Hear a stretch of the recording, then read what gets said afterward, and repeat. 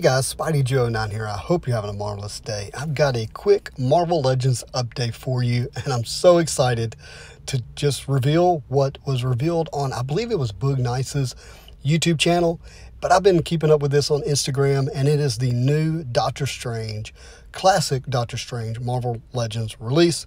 Sadly, it is supposed to be a Walmart exclusive, and I'll have to double check on the release date. If I find it, boom, here it is but it's going to look great. Uh, we get quite a bit of accessories, and he's got again that classic look. But there was uh, one little piece there that you saw was this blue mask. And for those who don't know, uh, Doctor Strange at one point in time during the Roy Thomas era of writing, uh, he took on this new identity to be able to escape this realm or something like that. And he was given this faceless identity and kept the name Doctor Strange, which is weird because his name is Doctor Strange, Doctor Stephen Strange.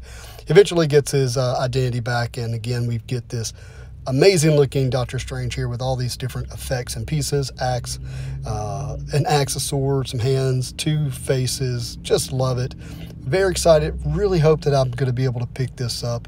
Makes me nervous that it's a Walmart exclusive. But guys, that is your Marvel Legends update. And have a marvelous day.